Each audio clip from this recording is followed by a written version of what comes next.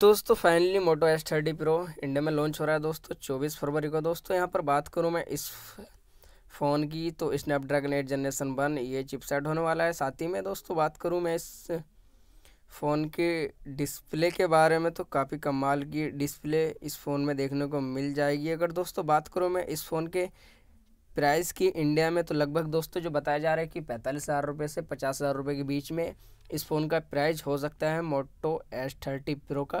काफ़ी अच्छा एक्सपीरियंस और काफ़ी बड़े डिस्प्ले और चिपसेट इस फ़ोन में देखने को मिल जाएगा। लॉन्च हो रहा है चौबीस फरवरी को। तो दोस्तों जानकारी अच्छी लगी हो तो वीडियो को लाइक करो शेयर करो।